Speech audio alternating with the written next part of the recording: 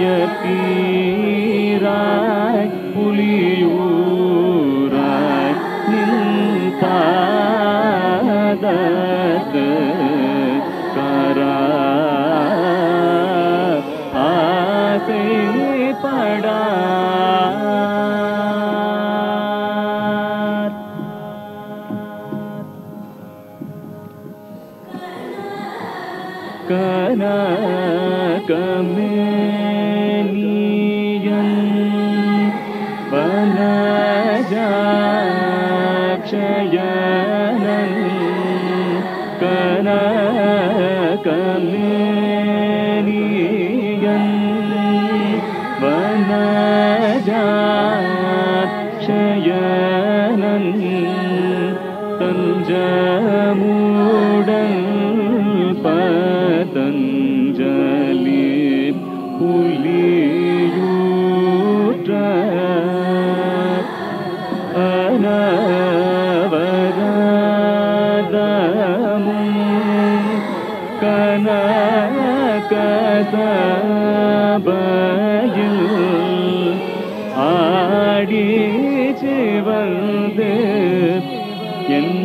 Spirit.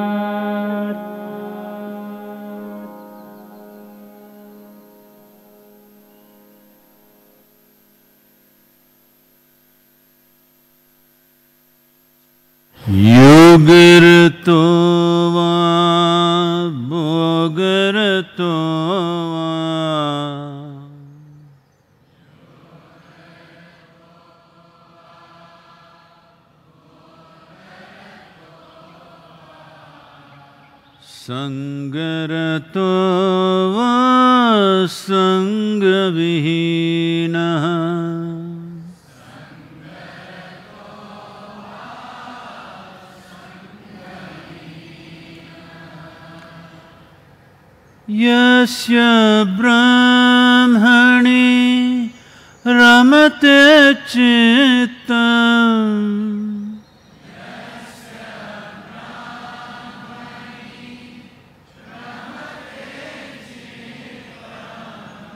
यस्य ब्राह्मणे रमते चित्तम्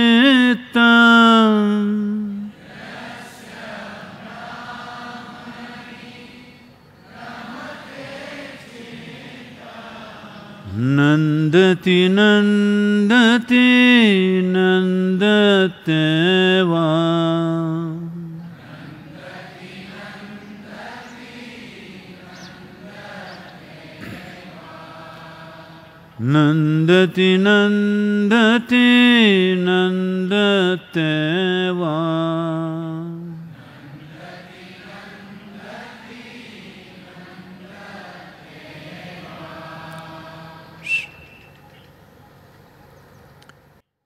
అందరికీ నమస్కారం. ఎలా ఉన్నారు అందరి ఇవాళ?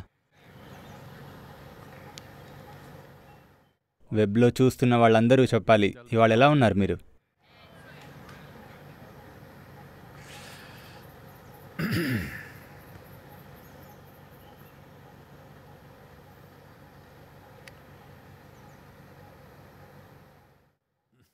ఇదెంతో ముఖ్యం. మీరందరూ సజీవంగా ఆరోగ్యంగా ఉండడం అనేది. దీనికి మీరు స్పందించాలి. ఎంతో కృతజ్ఞత కలిగి ఉండాలి. ఎందుకంటే మిమ్మల్ని చంపడానికి ఆకాశం విరిగిపడక్కర్లేదు. ఒక వైరస్ సరిపోతుంది. ఒక సూక్ష్మక్రిమి నేను ఇది ఎందుకు చెప్తున్నానంటే దురదృష్టవశాత్తు మానవులు అన్నీ వారి కోసమే ఉన్నాయి అన్న అభిప్రాయంతో ఉన్నారు. ఇందుకు ఎన్నో కారణాలు ఉన్నాయి అందులో ఒకటేమిటంటే మనకి కాస్త తెలివితేటలున్నాయి. నేను దీనిని మేధస్సు అనను. ఇతర ప్రాణుల కంటే మనకు ఎక్కువ తెలివితేటలున్నాయి.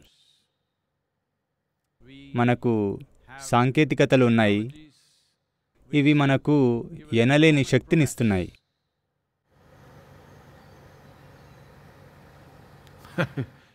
మీరు ఒక పులిని చంపడానికి పెద్ద సాహసవంతుడు కావాల్సిన పని లేదు. ఓ కిలోమీటర్ దూరం నుంచి దాన్ని గన్నుతో కాల్చి ఏదో ఘనకార్యం చేసినట్లు భావించవచ్చు. ఈ విషయాలు ఇంకా అన్నింటికి మించి ప్రపంచంలో ఉన్న మతాలు మానవుడి బుర్రలో ఈ తప్పు ఉద్దేశాన్ని నాటాయి. అదేంటంటే తక్కిన ప్రాణులన్నీ మిమ్మల్ని సేవించేందుకే ఉన్నాయని. కనీసం మతంలోని కొన్ని భాగాల్లో మతాలలోని కొన్ని అంశాలు మానవుడి బుర్రలో ఇలాంటి ఆలోచనలను నాటాయి. అదేంటంటే మిగిలిన ప్రాణులన్నీ మిమ్మల్ని సేవించడానికే ఉన్నాయని. మీరు దేవుని ప్రతిరూపమని తక్కినవన్నీ కేవలం ప్రాణులు. మిమ్మల్ని సేవించడానికే ఇక్కడున్నాయి. మీరు వెళ్ళి ఒక చీమను అడగండి. దానికి మిమ్మల్ని సేవించాలని ఉందా అని. ఒకవేళ మీకు అర్థం కాకపోతే వెళ్ళి ఒక ఏనుగుని అడగండి. మీకు అది చాలా బాగా అర్థమవుతుంది. మిమ్మల్ని సేవించడానికి ఇక్కడ ఎవ్వరూ లేరు. ప్రతి దానికి దాని జీవమే ముఖ్యం. ఒక చీమకు చీమ జీవితమే సర్వస్వం ఒక మిడతకు దాని జీవితమే సర్వస్వం ఒక చెట్టుకు దాని జీవితమే సర్వస్వం. ప్రతి ప్రాణికి దాని జీవితమే ముఖ్యం. జీవితం ప్రతి ఒక్క దానిలోనూ ఈ విధంగానే ఉంది. మనము కూడా ఈ కోవలోకి వస్తాం. ఇక జీవిత స్వభావం ఎలాంటిదంటే ఒక ప్రాణి జీవించాలంటే మరొకటి మరణించాలి. ఇదొక్కటే మార్గం. వైరస్ జీవించాలంటే మనం మరణించాలి. మనం జీవించాలంటే అది మరణించాలి. అది ఉన్న విధానం ఇదే. ప్రతీదీ ఒకదానిలో ఒకటి కలగలిసి ఉన్నాయి. ప్రపంచంలో ఉన్న ఆహారపు చక్రం ఈ విధంగానే ఉంది. ఒక ప్రాణి జీవించాలంటే అది మరొక దాన్ని తినాలి. జంతువునైనా చెట్టునైనా. ఆ మరో జంతువు జీవించాలంటే అది మరొక దాన్ని తినాలి. ఇదంతా ఒక చక్రం. ఇది ఒక ఆహారపు చక్రం. ఇది ఇలా ఎప్పటికీ కొనసాగుతూనే ఉండగలదు. కానీ మనం ఈ చక్రాన్ని చాలా బలంగా వక్రీకరించాం. మనము మనకి ఉపయోగపడాలని ఆలోచిస్తాము. కానీ మనం ఈ విధంగా ఉంటే ఇది ఎక్కువ కాలం మనకు ఉపయోగపడేలాగా ఉండదు.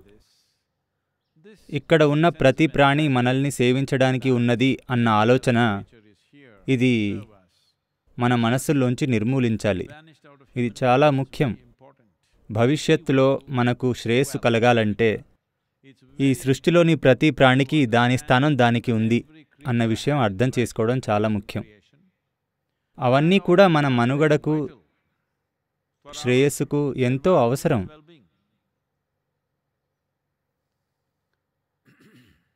దీని గురించి ఎంతో పరిశోధన జరిగింది. వాళ్ళు ఏమంటున్నారంటే ఒకవేళ పురుగులన్నీ మాయమైపోతే ఈ ప్రపంచం ఒకటిన్నర సంవత్సర కాలంలో అంతమవుతుందని. పద్దెనిమిది నెలల్లో ఈ భూమి మీద ఉన్న జీవం అంతమవుతుందని. ఒకవేళ పురుగులన్నీ మాయమైపోతే. ఒకవేళ కీటకాలన్నీ మాయమైపోతే నాలుగు నాలుగున్నర సంవత్సరాల కాలంలో ఈ ప్రపంచం అంతమవుతుంది. ఒకవేళ సూక్ష్మజీవులన్నీ మాయమైపోతే ప్రస్తుతం మనం వైరస్తో పోరాడుతున్నాము. కానీ అన్ని సూక్ష్మజీవులు మాయమైపోతే మనతో సహా అన్నీ ఇప్పటికిప్పుడే చనిపోతాయి. కానీ మానవులందరూ మాయమైపోతే ప్రపంచం వృద్ధి చెందుతుంది. అందుకే మనం ఇది అర్థం చేసుకోవాలి. ఈ భూమి మీద మన ప్రాముఖ్యత ఏమిటి అన్న విషయం. దురదృష్టవశాత్తు ఇది మానవుల మనస్సులో ఒక అతిశయంగా మారింది. దేవుడు మనల్ని తన ప్రతిరూపంగా చేశాడు. ఆయన మనలానే ఉంటాడు.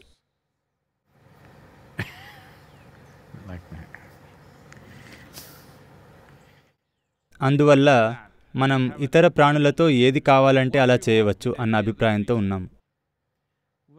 ఒకవేళ మన బతుకు తెరువు కోసం దేన్నైనా చంపితే అది వేరే విషయం. కానీ మనం మన వినోదం కోసం చంపుతున్నాము. బహుశా ఈ భూమి మీద కేవలం వినోదం కోసం చంపేది మానవులు మాత్రమే. మిగతా జంతువులు వినోదం కోసం చంపవు. అవి మనుగడ కోసం చంపుతాయి. అందుకని అన్నీ మన కోసమే ఉన్నాయి అన్న అభిప్రాయం ఈ భూమికి దాని మీద జీవాలకు పెద్ద నష్టంగా మారింది. ఇతర జీవాలకు ఎక్కువగా నష్టం జరిగే కొద్దీ మెల్లగా మన జీవితాలు కూడా విచారంగా మారతాయి. నేను ఇప్పుడే దాదాపుగా ఒక లక్ష మంది డాక్టర్లతో మాట్లాడాను ఆన్లైన్లో. వారు నన్ను ఇలా అడిగారు సద్గురు ఈ వైరస్ గురించి మీ అవగాహన ఏమిటి? అని. అసలు అది ఎందుకు వచ్చింది అనుకుంటున్నారు? అది మనకు గుణపాఠం నేర్పించడానికి వచ్చిందా? అని అడిగారు. నేను అలాంటి వాణ్ణి కాదు. ఎవరైనా బాధపడుతూ ఉంటే ఆ ఇది నీకు గుణపాఠమే అని అనడానికి. ప్రస్తుతం మీకు ఇన్ఫెక్షన్ వచ్చి ఉండొచ్చు లేదా మీకు ప్రియమైన వారిని మీరు కోల్పోయి ఉండవచ్చు.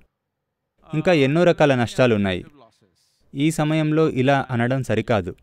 మీకు ఇది ఒక గుణపాఠం అని దేవుడు మీకు ఇలా పాఠం చెప్పాడు అని చెప్పలేము. మతపరమైన మూర్ఖులు ఇలా చెప్తున్నారు. దేవుడు మనకు గుణపాఠం చెబుతున్నాడని. ఎవరూ మీకు గుణపాఠం చెప్పడం లేదు.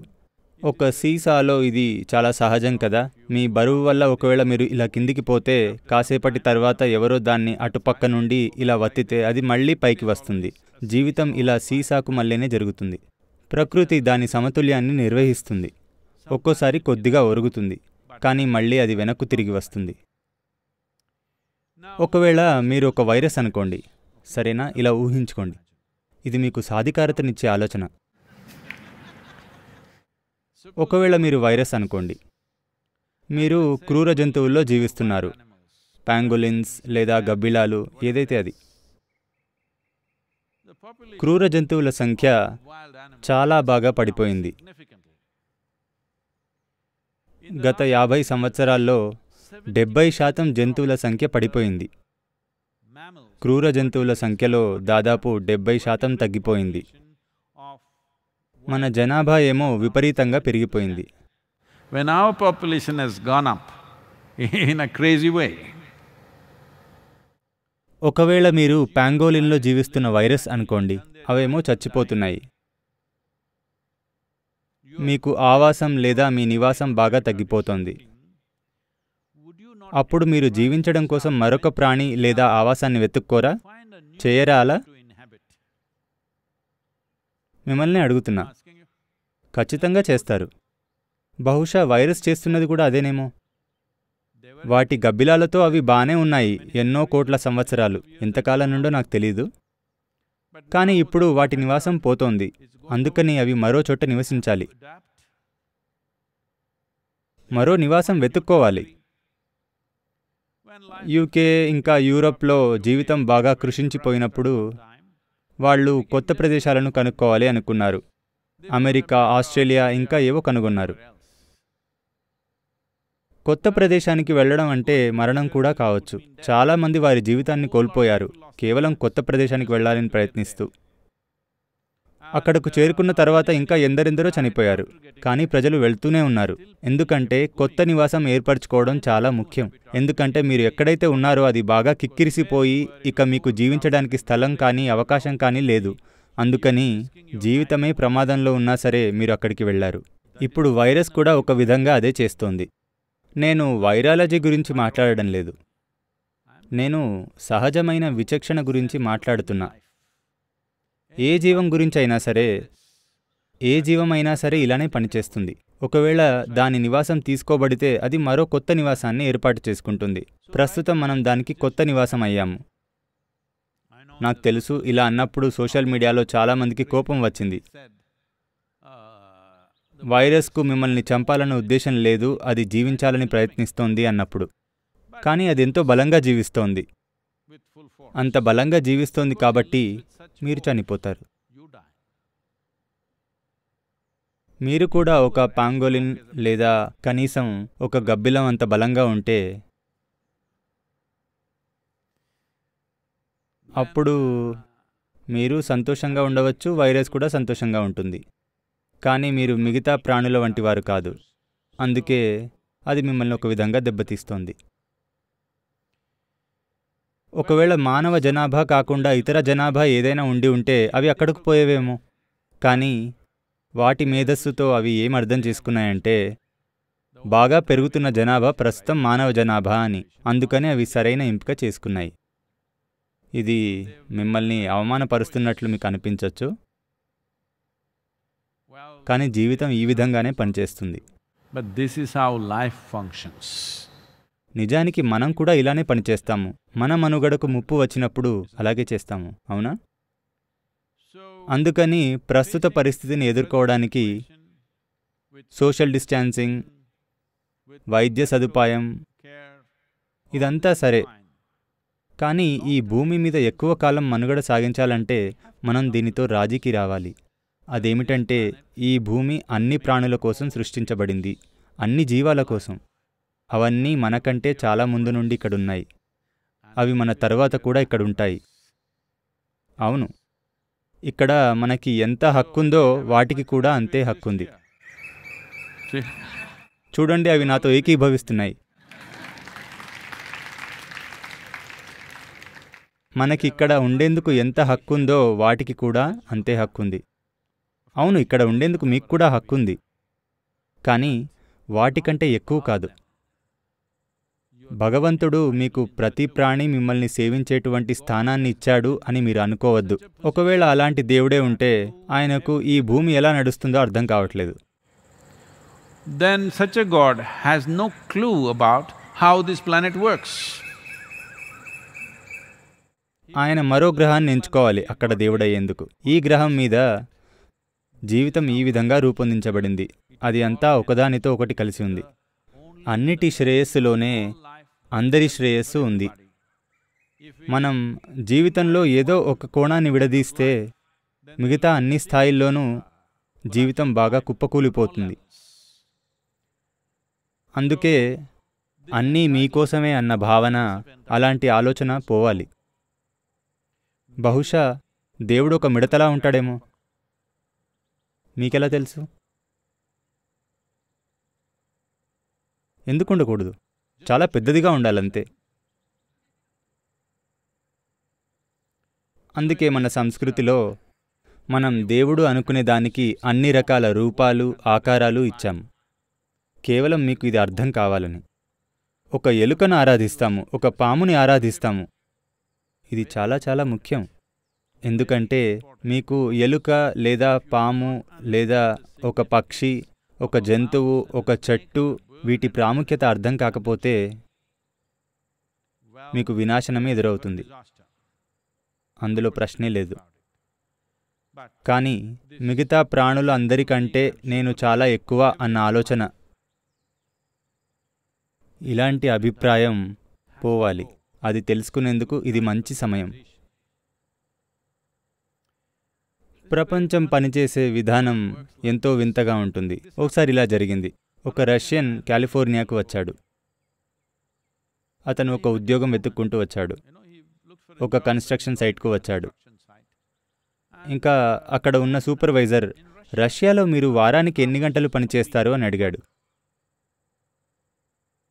అతను మేము డెబ్బై గంటలు పనిచేస్తామన్నాడు నిజంగానా?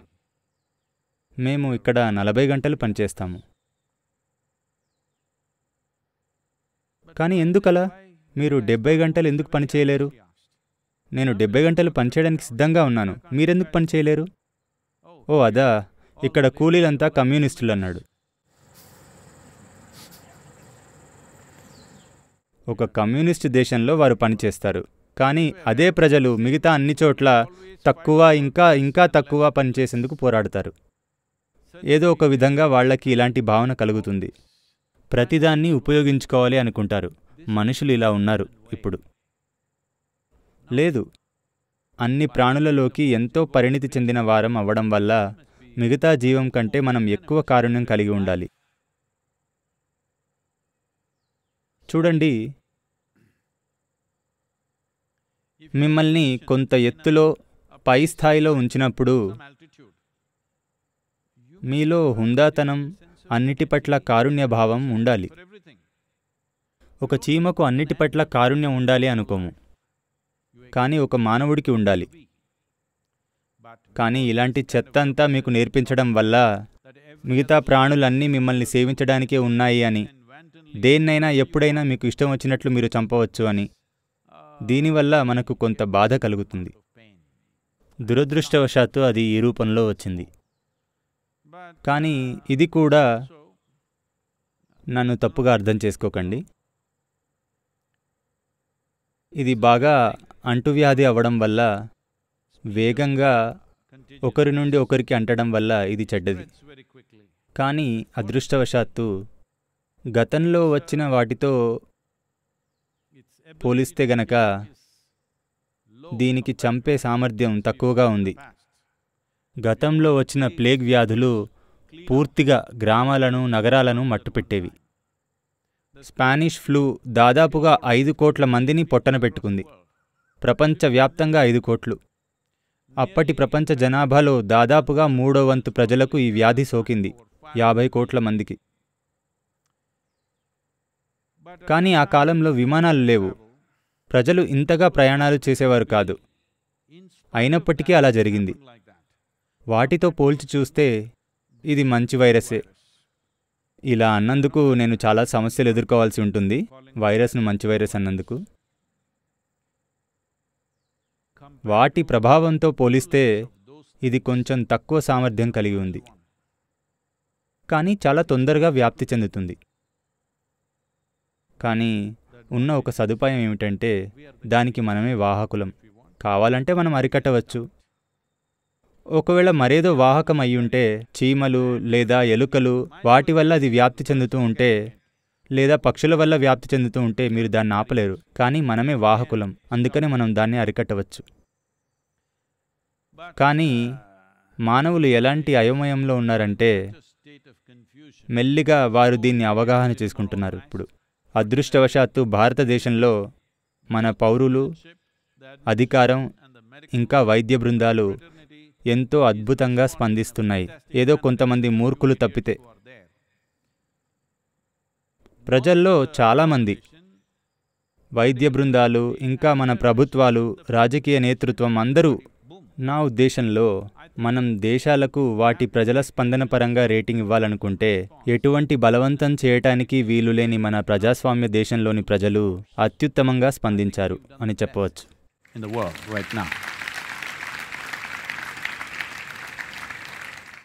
నూట నలభై కోట్ల జనాభా మూడు వందల కంటే తక్కువ మరణాలు.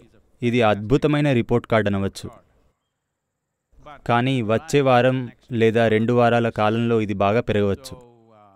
అందుకని ఖచ్చితంగా లాక్డౌన్ మరొక రెండు వారాలకు పొడిగిస్తారు.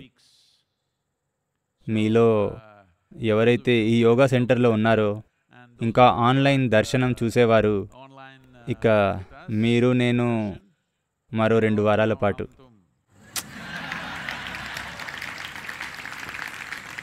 మరో రెండు వారాలు. అందుకని ఇది మనకు అలాంటి సమయం.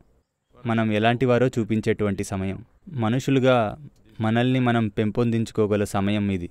We can enhance ourselves as individual human beings. ఎందుకంటే ఒక సమాజాన్ని పెంపొందించడం అనేది ఏమీ లేదు. సమాజం అనేది ఒక మాట. దేశం అనేది ఒక మాట. ప్రపంచం అనేది ఒక మాట. ఉన్నది మనుషులే. మనుషులను పరిణామం చేయకుండా ప్రపంచంలో ఎటువంటి పరిణామము ఉండదు. ప్రస్తుతం మనకు ఇలాంటి విరామ సమయం వచ్చింది.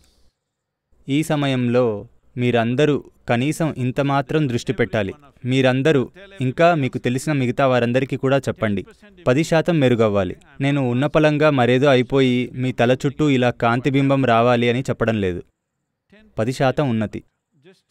మీ శారీరక దృఢత్వంలో ప్రస్తుతం మీరు ఉన్నదానికంటే ఒక పది శాతం మెరుగవ్వాలి. ఏప్రిల్ నెల చివరికల్లా. మీ మానసిక సామర్థ్యాలు ప్రస్తుతం మీరు ఉన్నదానికంటే ఒక పది శాతం మెరుగ్గా ఉండాలి.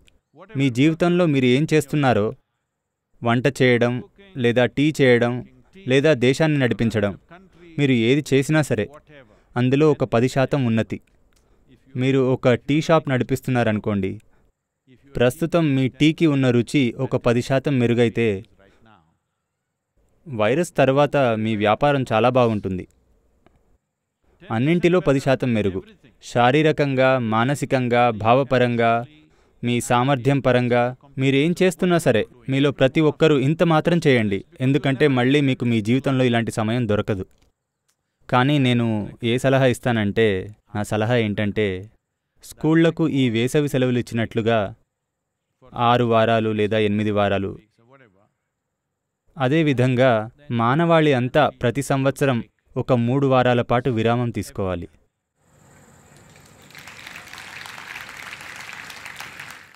ఎటువంటి యంత్రాలు ఇండస్ట్రీలు కార్లు వాహనాలు లేకుండా కావాలంటే సైకిల్ తొక్కుకోవచ్చు కొండలెక్కవచ్చు.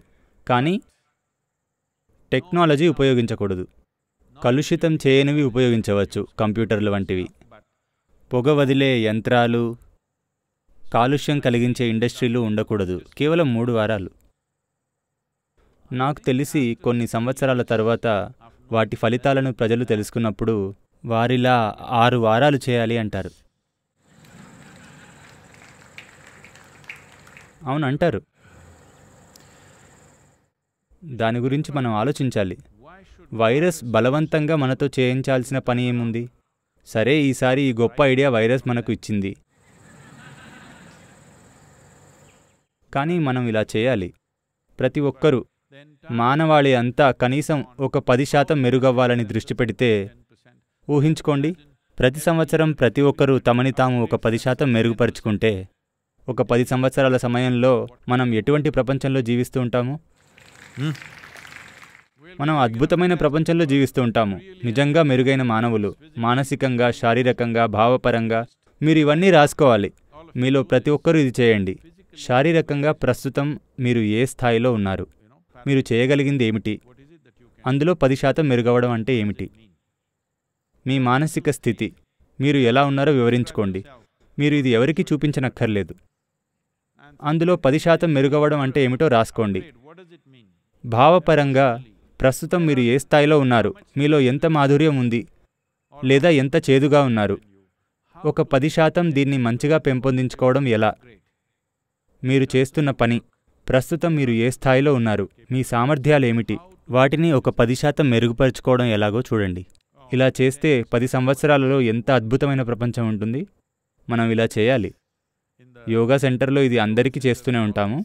అదేంటంటే బ్రహ్మచారులు సంవత్సరానికి అరవై రోజులు మౌనంలో ఉంటారు.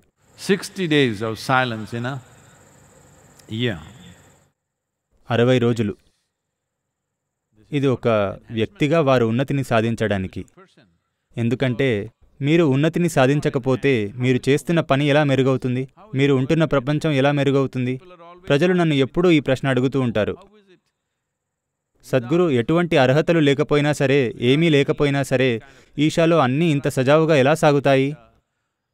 వాళ్ళు ఈ విధంగా ఎలా చేయగలుగుతున్నారు? మీ కార్యక్రమాలు అన్నీ ఎంతో అద్భుతంగా జరుగుతాయి. ఇదంతా ఎలా జరుగుతుంది? ఎందుకంటే మేము మానవుల వ్యక్తిగత వికాసం మీద దృష్టి పెడుతున్నాం. ప్రపంచం చేయవలసింది ఇదే. దేశం చేయవలసింది ఇదే. ఇది మనకు వైరస్ నేర్పించిన పాఠం. ఇది వైరల్ కావాలి.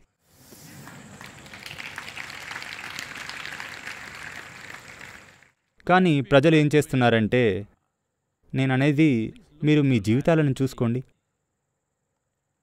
అందులో ఎంతవరకు సరిగ్గా ఉంది? మీ ఆలోచనలు మీ భావాలు మీరు చేస్తున్న పనులు ఏ స్థాయి వరకు సరిగ్గా ఉపయోగకరంగా ఉన్నాయి? ఏదో చేసేస్తూ ఉంటారు. అయినా కానీ మీ జీవితం అద్భుతంగా ఉండేలా మీరు నిర్వహించుకున్నారంటే అందుకే అందరూ పైకి చూస్తూ ఉంటారు. వారికి తెలుసు అదంతా యాదృచ్ఛికంగా వచ్చిన విజయం అని ఇది చాలా సహజం అయ్యింది. ప్రతి ఒక్కరూ ఇలా చూస్తున్నారు. ఎందుకంటే వాళ్ళు యాదృచ్ఛికంగా జీవిస్తున్నారు. లేదు మానవులు ఎంతో ఎరుకతో ఖచ్చితంగా ఒక ఉద్దేశంతో జీవించడం ముఖ్యం. ఒకసారి ఇలా జరిగింది. This happened. ఒక యువతి డ్రైవ్ చేస్తోంది. ఆ కారు ఇటు అటు ఇటు అటు వెళ్తూ ఉంది. ఎదురుగా వస్తున్నతను ఆమె కారును ఎలాగోలా తప్పించుకోవాలని ప్రయత్నం చేశాడు. కానీ చివరికి ఆ కారు వచ్చి అతని కారును గుద్దుకుంది. అదృష్టవశాత్తు ఇద్దరికీ పెద్దగా దెబ్బలేం తగలలేదు. అతను కారు దిగి ఆమె దగ్గరకు వెళ్ళి నువ్వేం చేయాలనుకుంటున్నావో అది ముందే తెలియజేయాల్సింది. కనీసం ఒక సిగ్నల్ ఇవ్వాల్సింది. నువ్వు ఏమి చేయాలనుకుంటున్నావో తెలియాలి కదా. అందుకామె నేను చేయాలి అనుకున్న దానికి సిగ్నల్ లేదు అంది.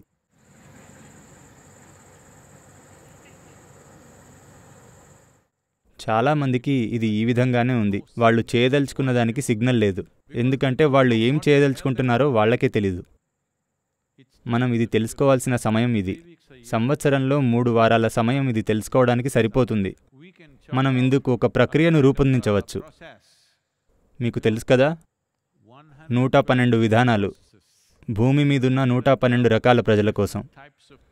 మీరు మూడు వారాల్లో చేయగల సరళమైన పనులేమిటి అని. మిమ్మల్ని మీరు శారీరకంగా మానసికంగా భావపరంగా ఇంకా ఆధ్యాత్మికంగా మెరుగుపరుచుకోవడానికి ఇంకా మీరు చేస్తున్న పనుల సామర్థ్యాన్ని మెరుగుపరుచుకోవడానికి నూట పన్నెండు విధానాలు. నాకు కొంతమంది చెబుతున్నారు సద్గురు వీళ్ళు ఎవరైతే నా వంట తిన్నారో వాళ్ళు సద్గురు మీరు కుకింగ్ లెసన్స్ చెప్పాలి ఈ బ్రేక్లో. నేను కూడా ఆలోచిస్తున్నా కానీ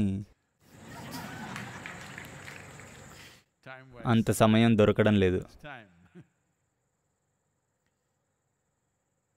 మనం దీనిని సాకారం చేద్దాం. మనకు ఇంకా దాదాపు మూడు వారాలున్నాయి కనీసం. అందుకని ఈ సమయాన్ని ఉపయోగించుకోండి. మనల్ని మనం జీవితంలోని అన్ని స్థాయిల్లో కనీసం పది శాతం మెరుగుపరుచుకోవాలి. మనం ఇది సాకారం చేద్దాం. ప్రశ్నలు. ఈ ప్రశ్న అశ్విన్ అడుగుతున్నారు. నమస్కారం సద్గురు. మీరు ఒక దర్శనంలో ఈషా వాలంటీర్లు దగ్గర ఉన్న గ్రామాలకు వెళ్ళి కరోనా వైరస్ గురించి అవగాహనను కలిగిస్తున్నారు అని చెప్పారు. నేను ముంబైలో ఉన్నాను ఇప్పుడు అక్కడకు రాలేను కానీ ఏదో విధంగా గ్రామాలు సురక్షితంగా ఉండేలా సేవ చేయాలనుకుంటున్నాను. నేను ఇంటి నుండే ఎలా సహాయపడగలనో తెలియజేస్తారా? చూడండి ప్రస్తుతం మనం సేవ చేయవలసిన ప్రజల సంఖ్య బాగా పెరుగుతోంది. ముఖ్యంగా ఈ లాక్డౌన్ పొడిగించడం వల్ల. I think the number of people who will become vulnerable and helpless ఈ పరిస్థితి వల్ల తమ ఆహారాన్ని సమకూర్చుకోలేక నిస్సహాయంగా అయ్యే ప్రజల సంఖ్య బాగా పెరుగుతోంది. ప్రస్తుతం మా వాలంటీర్లు ఈ ప్రాంతంలో కొంతమందికి భోజనం తయారు చేసి వడ్డిస్తున్నారు. భోజనం తయారు చేసి పెట్టడం అనేది వచ్చే వారం లేదా రెండు వారాల సమయంలో బాగా పెరిగే అవకాశం ఉంది. మీకు తెలుసు కదా? మనం ఏదైనా వాయిదా వేయచ్చు కానీ మన మధ్యాహ్న భోజనం రాత్రి భోజనం వాయిదా వేయలేము. సామాన్యంగా వారు ఏవైతే తింటారో అవన్నీ మేము వారికి అందజేయలేము. కానీ కనీసం రోజుకి రెండుసార్లు భోజనం అందించడానికి చూస్తున్నాము. అందుకు అవసరమైన సదుపాయం అందుకు అవసరమైన మానవ సహకారం సరుకులు కూరగాయలు వీటన్నింటినీ ఏర్పరచుకోవడం యుద్ధ ప్రాతిపదిక మీద జరుగుతోంది.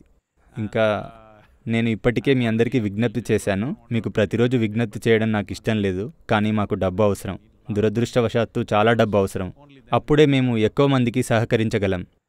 నేను నిన్న చెప్పిన విధంగా ఎన్ నైంటీ ఫైవ్ మాస్కులు గ్లౌజులు ఇంకా యువి శానిటేషన్ లైట్లు ఇవన్నీ ఇక్కడకు వస్తున్నాయి. ఈరోజు చేరుకున్నాయి అనుకుంటా ఇంకా చైనా నుండి మరిన్ని వస్తువులు వస్తున్నాయి. ఆ కోణంలో మేము కావలసినవి బాగానే సమకూర్చుకున్నాం. కనీసం ఈ ప్రాంతం వారికి. ఎందుకంటే మేము ప్రస్తుతం ఈ ప్రదేశంలో ఏ విధంగా చురుగ్గా పాల్గొనవచ్చో అని చూస్తున్నాం. అన్ని చోట్లకు వెళ్ళవలసిన పని లేకుండా. అదే సమయంలో టైమ్స్ నౌ టీవీలో నేను ఒక హెల్ప్ లైన్ నంబర్ను ఇచ్చాను. దీనికి కాల్ చేయవచ్చు. ఎనిమిది మూడు సున్నా సున్నా సున్నా ఎనిమిది మూడు సున్నా సున్నా సున్నా. ఇది ఈషా హెల్ప్ లైన్ నంబర్. దీనికి ప్రజలు మెసేజ్ పంపవచ్చు. ఒకవేళ ఎవరైనా ఆకలితో పస్తులు ఉన్నట్లు గమనిస్తే ఈ దేశంలో వారు ఎక్కడ ఉన్నా సరే వారు మెసేజ్ పంపవచ్చు. They can send a message. దానికి ఇరవై నాలుగు గంటల్లో మేము స్పందిస్తాం. ఆ ప్రాంతంలో ఉన్న వాలంటీర్ల సహకారాన్ని తీసుకుంటాం.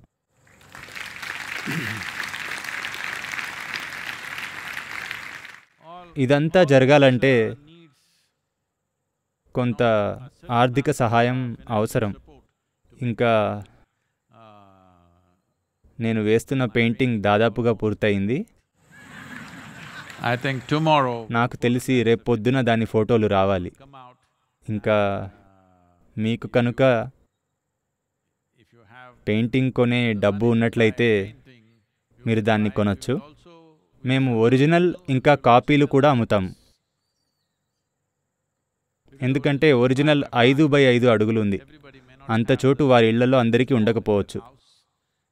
అందుకని చిన్నగా ఉన్న కాపీలు కూడా అమ్ముతాము. కుదిరితే ఇంకా చేయాలి అని అనుకుంటున్నాము. అవసరమైతే నేను మీకు వంట చేయడం కూడా నేర్పిస్తాను. అందుకు ఏది అవసరమైతే అది చేస్తాను. మన వాలంటీర్లు అందరూ ఎన్నో స్థాయిలో పనిచేస్తున్నారు. సోషల్ డిస్టాన్సింగ్ పాటిస్తూ చేస్తున్నారు. అందువల్ల నిజానికి మేము బయటికి వెళ్ళి మామూలుగా ఏది చేయగలమో అది చేయలేకపోతున్నాము. మేము చట్టాన్ని గౌరవిస్తాము. అన్నింటికి మించి అందరూ కూడా చట్టాన్ని గౌరవించాలి అనడానికి స్ఫూర్తిగా ఉంటాము. కానీ మేము ఎన్నో పనుల ద్వారా నిధులను సేకరించాలనుకుంటున్నాము. ఇతర ప్రాజెక్టుల ద్వారా ఫండ్స్ రైజ్ చేయాలని చూస్తున్నాము. ఈ సమయంలో నా నిబద్ధత ఏమిటంటే ప్రజలు ఆకలి బాధతో మరణించకూడదు. వైరస్ బలి తీసుకుంటోంది. అది మన చేతుల్లో లేదు. అది వైద్య బృందం చేతుల్లో ఉంది. ఎక్కువ మంది ప్రజలతో ఆసుపత్రులు నిండిపోకుండా చూసుకోవడం అనేది ప్రతి పౌరుడి బాధ్యత. ప్రభుత్వం దీనిని అమలుపరుస్తోంది. చాలా వరకు ప్రజలు రూల్స్ పాటిస్తున్నారు. అంత బాగానే జరుగుతోంది. కానీ వచ్చే రెండు వారాల్లో ఈ సంఖ్య బాగా పెరిగే అవకాశం ఉంది. అందుకనే మనం జాగ్రత్త పడాలి. వీటన్నింటిలో ఇప్పుడు ఒక ప్రతికూల పరిస్థితి ఉంది. ఆందోళన కలిగించే విషయం. అదేమిటంటే సౌత్ కొరియా ఇంకా బహుశా చైనాలో కూడా అనుకుంటా. ఎవరైతే ఈ ఇన్ఫెక్షన్ వచ్చి కోలుకున్నారో కొద్ది వారాల క్రితం వారికి మళ్ళీ ఈ వైరస్ సోకుతోంది. ఆర్ అగైన్ టెస్టింగ్ పాజిటివ్ నా ఇది చాలా పెద్ద సమస్య. ఇది మనం అంచనా వేయలేదు. లేదా ఈ విధంగా జరుగుతుంది అని మనం అనుకోలేదు. చాలా వరకు ఏమనుకున్నారంటే ఒకసారి ఇన్ఫెక్షన్ వస్తే దానిని పోరాడే యాంటీబాడీస్ వారిలో ఉంటాయని రోగనిరోధక వ్యవస్థ అందుకు పనిచేస్తుందని అనుకున్నారు. కానీ ప్రజల్లో మళ్ళీ తిరిగి ఇన్ఫెక్షన్ రావడం అనేది చాలా పెద్ద సమస్య. ఇలా అయితే ఈ చక్రం ఎప్పుడు ఆగిపోతుంది? మనం ఈ ఇన్ఫెక్షన్ ఒక స్థాయికి చేరుకుని ఆ తర్వాత తగ్గుతుంది అనుకున్నాము. కానీ ఎవరైతే ఈ ఇన్ఫెక్షన్ నుండి బయటపడ్డారో మళ్ళీ తిరిగి వారికే ఇన్ఫెక్షన్ సోకుతోంది. ఇది చాలా చాలా పెద్ద సమస్య. ఇది ఎక్కడకు చేరుతుందో మనకు తెలియదు ఇప్పుడు. దేశంలో తిరిగి ఆర్థిక వ్యవస్థను ఎలా నిలబెట్టాలి అన్న పని జరుగుతోంది. మేము ఇక్కడ ప్రాంతీయంగా ఉన్న రైతు సమాజానికి ఎలా తోడ్పడగలమో తిరిగి మళ్ళీ జీవితాలను పట్టాల మీదకి ఎలా తీసుకురాగలమో చూస్తున్నాము. ఏమి అనౌన్స్ చేశారో నాకు తెలీదు. ఈ పాటికి ప్రధానమంత్రి అనౌన్స్ చేసి ఉంటారనుకుంటా. టీవీలో ఉన్నవారు ఇది చూసి ఉంటారు. లాక్డౌన్లో కొన్ని సడలింపులు చేసి ఉంటారు. ఒక ముఖ్యమైన సడలింపు ఏదంటే ఈ సడలింపు చేయాలని నేను కూడా సూచించాను ఆయనతో మాట్లాడినప్పుడు. వ్యవసాయ రంగంలో కొంత సడలింపు కలిగించాలి. కొన్ని సూచనలతో ఇంకా ప్రజలు సోషల్ డిస్టాన్సింగ్ పాటిస్తూనే చేయగలగాలి. సామాన్యంగా వ్యవసాయం చేయడానికి సోషల్ డిస్టాన్సింగ్ ఉంటుంది. ప్రజలు గుంపుగా రావాల్సిన పని లేదు. ఏవో కొన్ని పనులకు మినహాయించి అందరూ దూరం దూరంగా ఉండి పని చేసుకుంటారు. వ్యవసాయ రంగం పనిచేయడం మొదలుపెట్టాలి. ఎందుకంటే మన దేశ జనాభాలో అరవై శాతం మంది ఇందులో ఉన్నారు. ఇంకా ఇది దేశానికి ఆహార నిల్వలు సమకూరుస్తుంది వచ్చే సంవత్సరానికి. అందుకని ఇది పనిచేయాలి బహుశా కొన్ని అత్యవసర సేవలను కూడా మినహాయించవచ్చు. సరుకులను అందించే కేంద్రాలు మరికొంచెం బాగా పనిచేసేలాగా అది కూడా జరుగుతుంది అనుకుంటున్నా కానీ రైళ్ళు ఇంకా విమానాలు ఖచ్చితంగా పనిచేయవు. ఈ నెల ఆఖరి వరకు ఖచ్చితంగా పనిచేయవు. ఎందుకంటే ఎంతో దూరానికి ఇది పాకడానికి ఇవే కారణాలు. ప్రయాణాలను నిర్బంధిస్తారు. తాలూకా స్థాయిలో లేదా జిల్లా స్థాయిలో నిర్వహిస్తారు. ప్రజలు ఒక చోట నుండి మరొక చోటికి వెళ్ళకుండా ఉండేందుకు. ఒకవేళ ఎక్కడైనా ఒక చోట ఇన్ఫెక్షన్ వచ్చినట్లయితే అది ఆ ప్రాంతానికే పరిమితం అవుతుంది. అప్పుడు మరింత మెరుగ్గా వైద్యం చేయవచ్చు. ప్రజలు అన్ని చోట్లకు ప్రయాణాలు చేస్తే ఇది కుదరదు. ఇలాంటివన్నీ జరుగుతున్నాయి. ప్రజలు సహకరించాలి. మీరు సహకారం అందించాలి అనుకుంటే ప్రస్తుతం మీరు ముంబైలో ఉన్నారు. మీరు ప్రయాణం చేసి ఇక్కడికి వచ్చి సేవ చేయాల్సిన పని లేదు. మీరు ఏ విధంగా సహకరించగలిగితే ఆ విధంగా చేయవచ్చు. లేదా మీరే సహాయ కేంద్రాలను నెలకొల్పవచ్చు. మీరు పదార్థాలను సేకరించి మాకు పంపించవచ్చు. నూటికి నూరు శాతం వాటిని బాగా ఉపయోగిస్తాము మీరు పంపించే ప్రతి రూపాయి బాగా ఉపయోగపడేలాగా మేము చూసుకుంటాము ప్రస్తుతానికి మనం చేయగలిగింది ఇంతే. సమయం దాటిపోయామనుకుంటా? అందరికీ ధన్యవాదాలు. ఇదే మనకున్న సమయం. ఎందుకంటే లాక్డౌన్ పొడిగించారు. అంటే మరొక ఇరవై ఒక రోజులు. ఇంకా ఇప్పటి నుండి ఇరవై ఒక రోజులు. లేదా ఇరవై రోజులు. మన చుట్టూ ఉన్నవారి శ్రేయస్సు కోసం ఈ సమయాన్ని మనం బాధ్యతాయుతంగా నిర్వహించుకోవాలి. బలహీనంగా ఉన్నవారిని వయస్సు అయిన వారిని సంరక్షించడం అంటే అరవై అరవై ఐదు సంవత్సరాలు దాటిన వారిని సురక్షితంగా ఉంచడం ఈ వైరస్ను దాటేలాగా చూసుకోవడం మనందరం ఈ నిబద్ధతతో ఉండి బాధ్యతాయుతంగా ప్రవర్తించాలి. వారి శ్రేయస్సును సంరక్షణను చూసుకోవాలి. ఏడాదిలోపు ఉన్న పసిపిల్లలు ఇంకా ఎన్నో వైద్య కారణాల వల్ల బలహీనంగా ఉన్న ప్రజలను కూడా. ఇది ఒక విపత్తుగా పరిణమించకుండా మన జీవితాల్లో మనం విజయవంతంగా బయటికి వచ్చిన ఒక చిన్న కష్టకాలంగా అయ్యేలా మనం చూసుకోవాలి. ఈ వైరస్ను మనం జయిద్దాం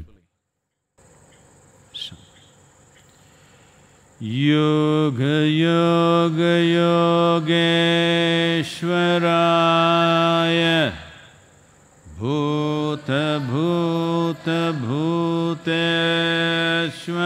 भूतभूतभूतेश्वराय